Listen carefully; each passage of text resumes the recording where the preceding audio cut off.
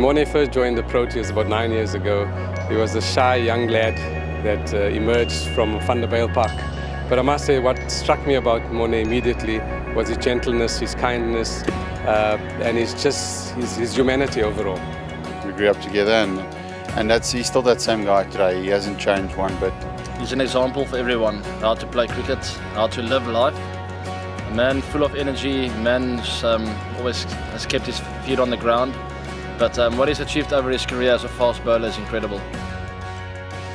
For somebody to play 100 ODIs and the amount of test cricket that he's played, uh, and he's managed to keep really fit, uh, certainly one of the fittest fast bowlers there are, uh, and an absolute professional.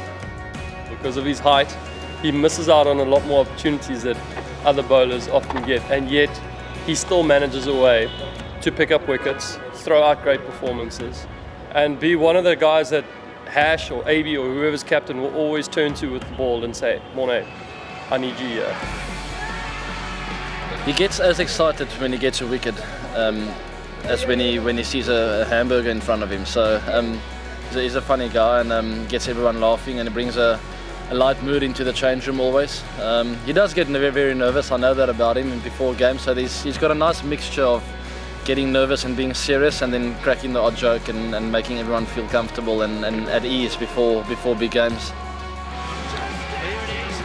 Anything you ask Morne Morkel to do for you will end up doing for you. He, he always puts the next person ahead of his own needs and he's just been a wonderful role model for some of the younger players to play with and a massive privilege for me to work with as a coach. I've learned a great deal from him and um, it's been an absolute privilege to work with him he's well loved by just about everybody. Everybody enjoys having him around and enjoys his quirkiness and his funny moments. So he's a great player. He transcends cultures. He transcends, uh, transcends uh, you know, people, groups. He could easily come and sit on the table at, at breakfast with you and uh, one, have a wonderful conversation. What you see is what you get. he wears his heart on his sleeve. He's an emotional guy. He, he loves the team.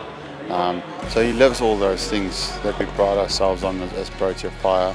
I suppose he's one of those guys that if you want an example of exactly what it looks like, he's that. He's got it all. He's uh, he's got a lot of humour. He's got a lot of seriousness. He's he's caring. Um, you know, there's so much to him, and uh, he's a great human being. And you know, I wish him all the best.